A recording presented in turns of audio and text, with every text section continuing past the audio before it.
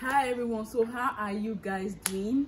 So i came here to uh, make an appreciation vlog to my love i used to call her mommy to my lovely mommy maria.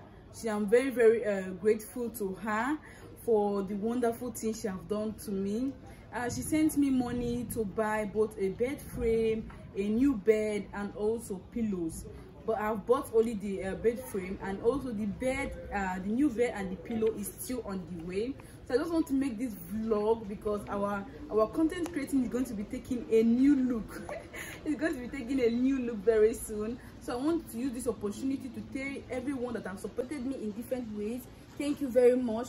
God bless you all. And I want you guys to please use this opportunity to pray for everybody in the comment section pray for Maria and also everybody that have helped me in one or two ways. I say you guys will never lack in Jesus' name. Amen. And also remember